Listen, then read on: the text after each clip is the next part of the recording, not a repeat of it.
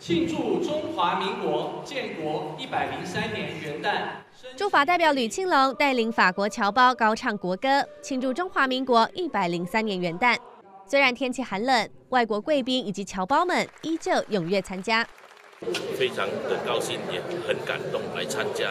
呃，今天在中华民国驻法国代表处的元旦升旗典礼。那在这里的话，我祝福中华民国，呃，经济发达，国运昌隆。吕庆龙表示，代表处和法国正在进行多项合作计划，包括打工度假协议，渴望在今年落实；双边教育合作计划也在推动当中。另外，他也向侨胞们分享总统马英九的元旦文告。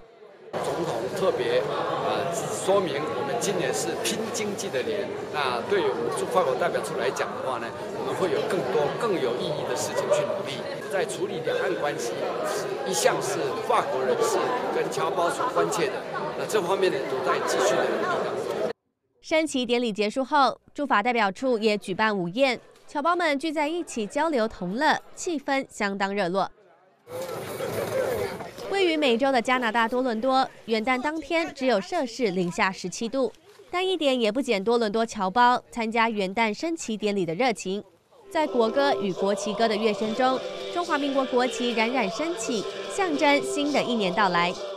新年我是希望说能够，因为安省中华总会馆是我们侨社很很多年了，所以呢我会为我们侨胞啊为我们呃中华民国外交呃做很多新鲜新现象。驻多伦多经文处以及文化中心的官员也到现场，感谢当地侨胞对于国家的热情以及支持。升旗典礼最后在侨胞们互道恭喜声中圆满结束。气氛隆重又热烈。